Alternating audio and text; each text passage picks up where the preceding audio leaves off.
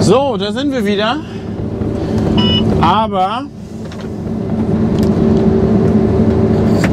es ist seitdem schon wieder zwei Tage eigentlich vergangen. Die Maschinen standen auf dem Hof. Es ging nichts, Leute. Es ging nichts. Ich kam an und es regnet. So.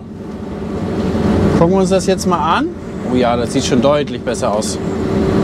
Können wir noch ein bisschen die Haspel verstellen?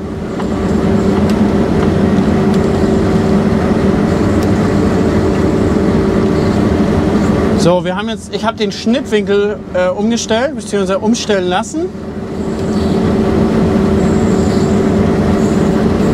Und ich habe leider Gottes,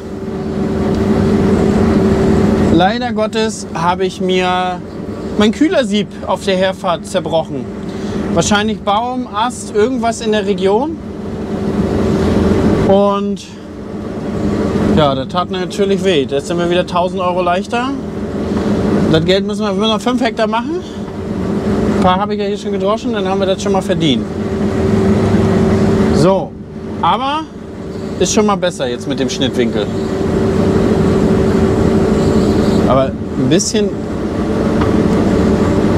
Es ist deutlich besser auf jeden Fall als vorher. Ein bisschen schwierig ist von dieser Seite immer noch, weil es mir, es, es liegt weg von mir. Und das ist das große Problem. Es liegt einfach weg von mir. Aus der anderen Richtung geht es eigentlich hervorragend. So, Getreide kommt schon mal an. Äh, 19% Feuchte, die wir jetzt hier anfangen. Der Betrieb hat noch trocknet in der Halle. Und wie gesagt, wir fangen ja jetzt erstmal auch nur an,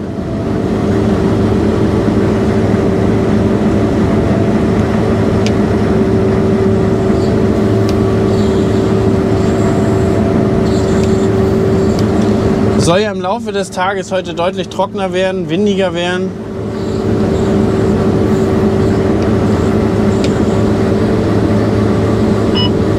Und das jetzt, das, jetzt muss ich die Haspel natürlich eigentlich weiter vorne fahren, dann wirft er das nicht mehr richtig rein. Mal gucken, wie wir das jetzt hinkriegen. Aber es sieht schon mal deutlich besser aus mit dem Schnittwinkel. Wir haben ungefähr einen Zentimeter vorne bei mir am Schrägförderer reingeklappt. Jetzt geht's auch. Wir haben 13% Rohprotein, Rohasche 2%, Asche 2%, nee, Rohfett 2%. Also jetzt geht's auch. Ich hatte auch äh, Ablagerung von der Erbse am Niersensor, deswegen ging der nicht. Aber jetzt funktioniert das. Und ich habe auch ein bisschen Glück. Nebenan, 10 Kilometer weiter, hat es gerade geregnet und da steht äh, der andere Betrieb, mit dem ich zusammen den 8RX habe oder der den 8X hat und ich darf den mitnutzen. Keine, keine fremden Lorbeeren. Und der steht da mit seinem X9 und der kann gleich herkommen, weil die können da nicht dreschen. Und von daher kann er mir helfen hier mit. Mal gucken, wie es aussieht. So, jetzt fing das hier an schon zu nieseln.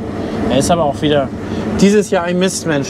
Sollte eigentlich nicht regnen heute, ab heute Morgen strahlender Sonnenschein, es sollte warm werden. Ich habe jetzt Gott sei Dank hier einen Betrieb, der jetzt sagt, na okay, wir fahren jetzt erstmal trotzdem weiter. Der trocknet ja noch ab. Also wir haben jetzt hier feuchte 18 Prozent. Wir haben auch hier mit 18 Prozent angefangen. Was ich, euch gleich, was ich euch noch erzählen wollte, also hier ist gleich noch ein X9 auf dem Weg zu mir. Ähm, von einem Bekannten, der kann da heute gar nicht dreschen. Der hilft mir hier, ich helfe ihm am Ende. Und ähm, bin super gespannt, wie der mit den fast 14 Metern mit diesem Draper-Schneidwerk das Lager hochbekommt. Also gibt zwei Möglichkeiten. Entweder hat er noch mehr Probleme als ich oder der fährt hier durch wie ein Held.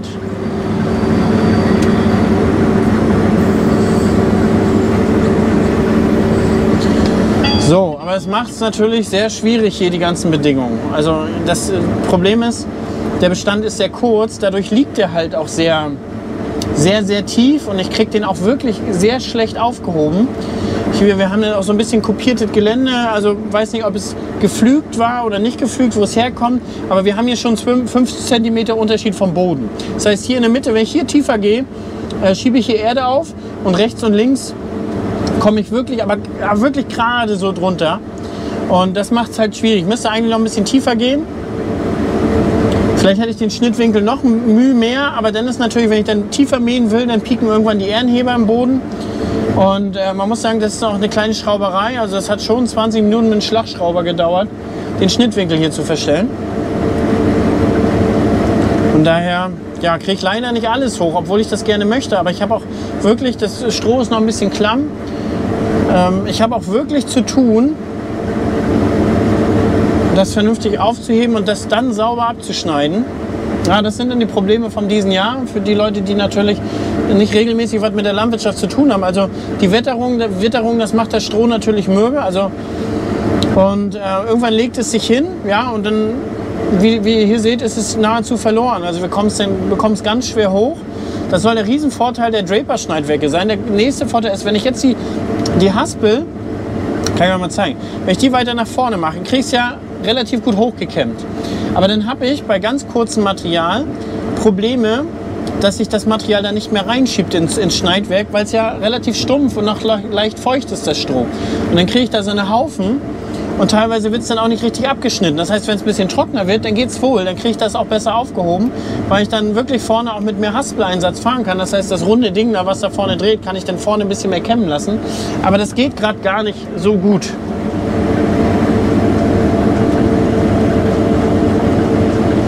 Und das sind einfach die Probleme. Aber äh, wir wollen es nur langsam abkriegen. Samstag ist wieder Regen gemeldet. Ja. Wir sind bin auch froh, dass wir jetzt hier einen Betrieb haben, der sagt, also da haben wir jetzt schon, dass die Erde da aufschiebt. Also meistens ist es so, und da müssen wir auch rausgehen, das runterkratzen. Meistens ist es so, entweder ist da eine Bodenwelle, ähm, die das dann aufschiebt. Oder es fängt meistens an, das wird nicht richtig abgeschnitten. Ach Quatsch, die Taste nicht die. Es wird nicht richtig abgeschnitten und dann schieben sich die Pflanzen auf, die schieben die Erde auf und dann haben wir am Ende hier Erde drauf. Und dann ist das natürlich das, das Problem, was wir haben. Dann ist die Erde halt noch extrem feucht, weil hat ja tagelang drauf geregnet. Das heißt, die wächst auch richtig gut. Die klebt auch richtig schön an den Messern. Und das sind die Herausforderungen, die wir halt hier aktuell haben beim Dreschen. So, ich habe dann halt versucht, ja, wenn die Bedingungen nicht so ganz perfekt waren, mir irgendwie ja, ein bisschen stehendes Material zu suchen, aber das ist inzwischen alles so durchwachsen hier inzwischen. Naja, auf jeden Fall, Leute, habe ich mir vorgenommen, jetzt hier mehr die, meine kleine Lohner-Reise bzw. meine Reise vom Mähdrescher hier jetzt ein bisschen häufiger zu filmen, also jeden Tag eigentlich ein Video draus zu machen, dass ihr up-to-date seid und dass ihr das Ganze so ein bisschen miterlebt, welche Probleme ich hier jeden Tag erlebe. So, jetzt hat es hier ein bisschen raufgeregnet. Das Korn ist nach wie vor trocken geblieben. Ist immer noch 18, aber das Stroh ist jetzt nass. Und das ist halt auch ungünstig. So, ich fahre jetzt hier einmal mal geradeaus, versuche da mal mein Glück, gucke mir da mal den Bestand an, ob der da besser ist oder nicht besser ist. Und irgendwie, wenn es Lager von der Seite kommt, geht es fast am besten. Aber dafür ist es hier fast ein bisschen zu kopiert, dass ich sagen kann, okay, ich komme jetzt so von der Seite oder von der Seite. Dann ist das Stück hier, gut, das hier relativ kurz, aber ist eigentlich super lang. Das heißt, ich kann jetzt auch nicht sagen, okay, fahren wir nur einseitig. Und dann fahre ich da, sagen wir mal, fast einen Kilometer in die andere Richtung und dann geht es weiter. Ja, soweit, so gut erstmal, Leute. Das ist hier erstmal mein Update vom Dreschen. Gucken wir mal, ab 14 Uhr soll die Sonne rauskommen. Hoffentlich bleiben wir dann weitestgehend verschont mit dem Regen. Äh, bis später. So, da sind wir ein paar Stunden weiter. Wir haben uns durchgequält. Warte, ich muss mal Musik leise machen. Wir haben uns durchgequält. Die Sommergerste ist ab. Oh, da haben uns aber alle ganz schön gequält. Auch der X9. Ähm, wir sind im Winterweizen. Wir haben hier 3,3, 3,5 Tonnen auf dem Hektar. Hier ist sehr, sehr viel Stroh. Ist auch teilweise noch sehr zäh. Also seht ihr selber. Na gut, hier, hier ist jetzt eine blöde Stelle. Die ganze Zeit ist äh, wirklich gut. Also sehen wir gleich nochmal. Und also Fazit von heute ist, ähm, das Draper Schneidwerk macht auf so speziellen Bedingungen, wie wir in der Wintergerste, in der, in der Sommergerste das heute gesehen haben, einen krassen Unterschied. Also der konnte einfach mal 7, 8, 9 km/h fahren, während ich maximal 5 fahren konnte, weil das Schneidwerk sich vernünftig anpassen musste. Und ähm, also das ist schon, schon ein krasser Unterschied. So, also ihr seht, das wird gleich noch höher. Ich hole euch gleich noch mal dazu, wenn es richtig hoch ist. So, weiter geht's. Also, ihr seht, ist schon, schon viel, viel Stroh. Ein bisschen höher, mehr. Ähm, ist schon viel, viel Stroh, wie ihr da seht. Und auch hier, jetzt ist gerade der Bestand ein bisschen dünner. Und das auch, wird jetzt schon ein bisschen klamm, war heute auch den ganzen Tag nicht richtig so perfekt trocken. Ne? Wir haben jetzt hier die 14,8% Feuchtigkeit. Äh, Rohprotein geht es jetzt teilweise bis 11 hoch für Bio. Ja. Ähm, jetzt ist ja hier ein bisschen dünner, aber gerade nachher da oben den Hang hoch, Junge, Junge, Junge, ist der solide. Und als wir, ich, da kann jetzt hier ein bisschen was auf Schwatt legen, 10 Hektar soll ich hier auf Schwatt legen. Und als ich äh, den, den äh, Häcksler eben noch dran hatte, Junge, Junge, Junge, 3,84 km ist Ende. Und das ist auch schon wollig, das Stroh, wenn man das da sieht. So, das liegt schon so ein bisschen oberhalb oben drauf. Das ist schon so ein Indikator, ähm, dass das Stroh halt schon feucht wird und auch feucht noch ist. Ah. Wird auch wieder ein ganz bisschen Erde mir raufgezogen. So ein Ärgernis aber auch hier. Müsste aber gehen. Müsste man eigentlich wegkriegen.